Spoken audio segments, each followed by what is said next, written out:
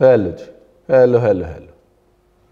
तो जो भी लोग बोलते हैं ना कि रणवीर, तूने हर किस्म की अंडा करी बना दी, अब क्या?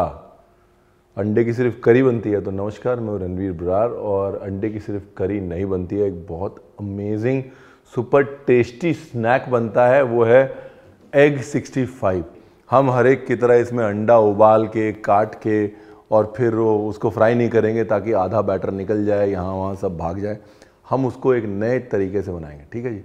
तो नमस्कार मैं हूँ अंडा बरार नहीं नमस्कार मैं हूँ रणवीर बरार मिलते हैं म्यूज़िक के उस पार। Rolling and action.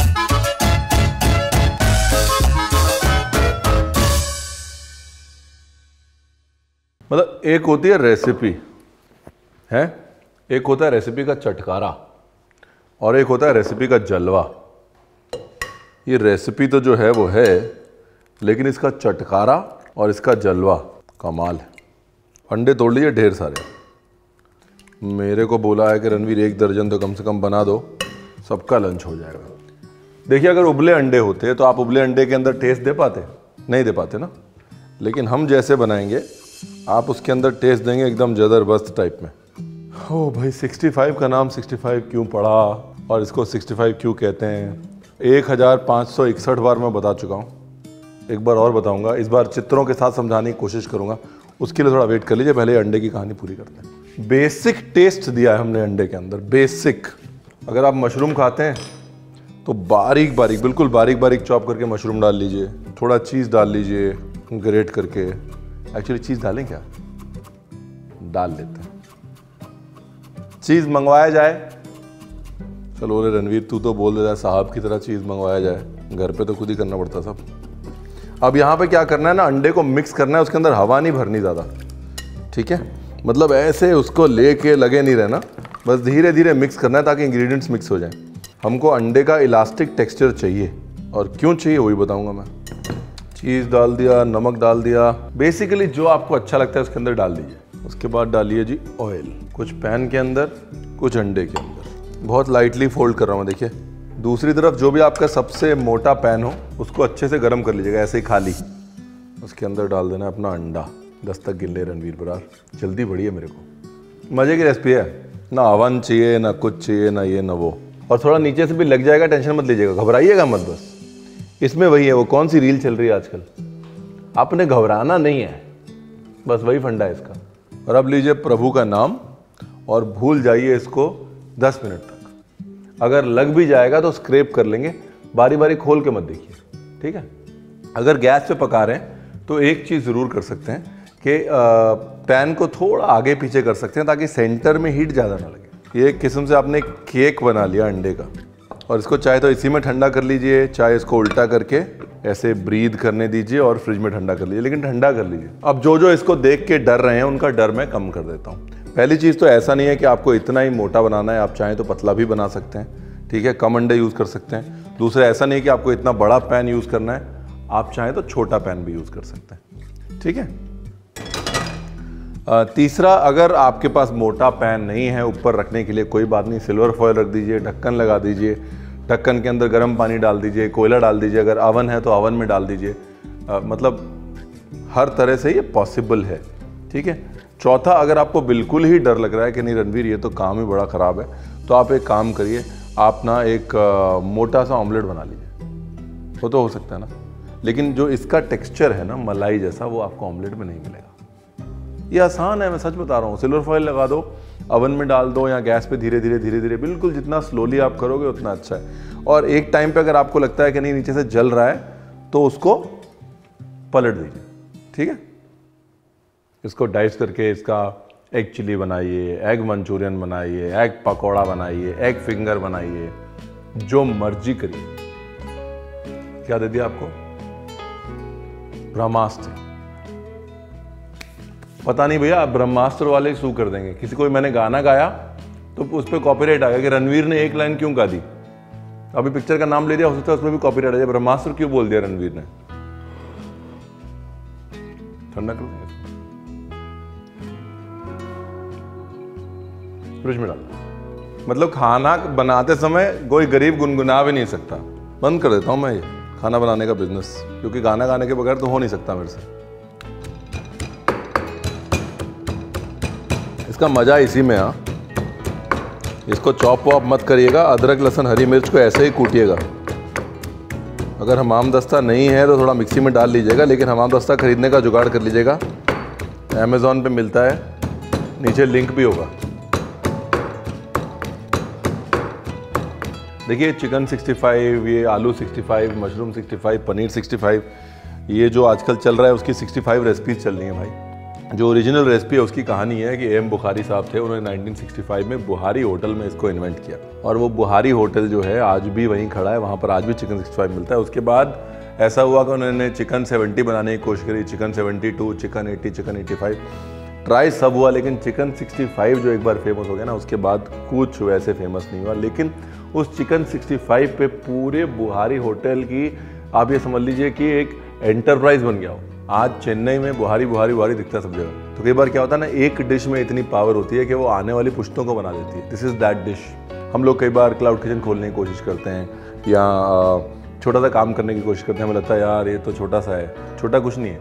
एक डिश जो है, इतना बड़ा काम कर सकती है। तो समझ रहे ना अमेजिंग प्लेस बट आप वहाँ जाएँगे ना मतलब हिस्ट्री दिखती है वहाँ पे आपको।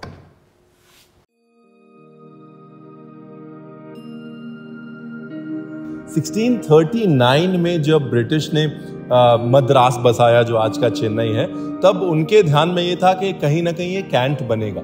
और 1774 में वहाँ पर कैंट बना, कैंटोनमेंट बना, फौजी छावनी बनी। और फौजी छावनी बनने के साथ बनी मद्रास रेजिमेंट, जो कि सबसे पुरानी रेजिमेंट्स में से एक। और मद्रास रेजिमेंट बनने के साथ में बहुत सारे आर्मी बैरक्स बने, जहाँ पे बहुत सारे फौजी आते थे और उनको नॉन वेजिटेरियन खाना चाहिए होता था। क्योंकि ब्रिटिशर्स ये बिलीव करते थे कि चिकन और अंडा आपको प्रोटीन देता है, क्योंकि वो फाउल ईटर्स थे। इसलिए ये चिकन का culture non vegetarian culture Chennai में शुरू हो गया और बने चेन्नई के फौजी मेस और उन फौजी मैसेज ने जो कल्चर शुरू किया, फिर जगह जगह बुहारी होटल जैसी जगहों पर नॉन वेजिटेरियन खाने को सेलिब्रेट किया जाने लगा, खासतौर स्नैक्स के तौर पे, चखने के तौर और इस कंटोनमेंट कल्चर और मेस कल्चर को आगे बढ़ाते हुए चिकन 65 जैसी डिशेज आई, जो आज आइकॉनिक है।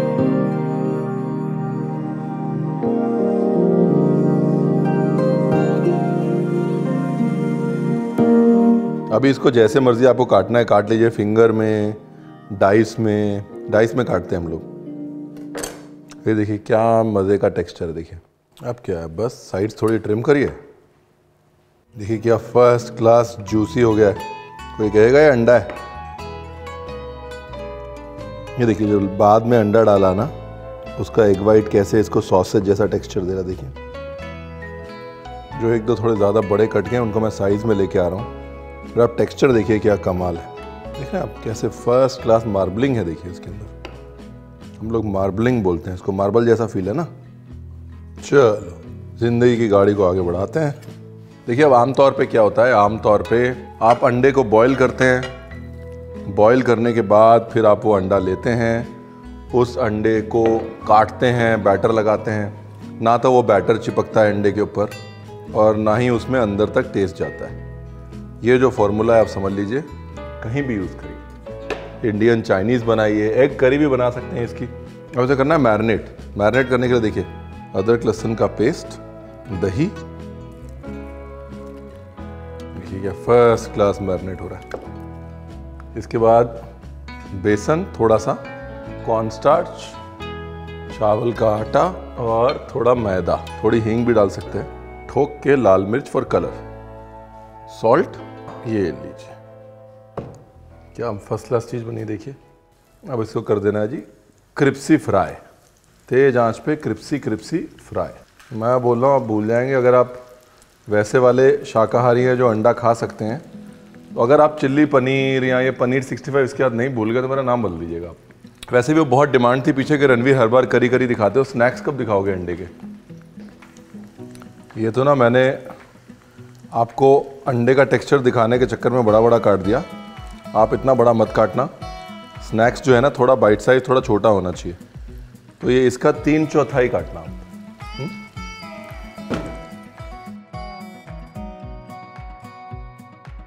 देखिए, क्या फ़र्स्ट क्लास टेक्सचर है।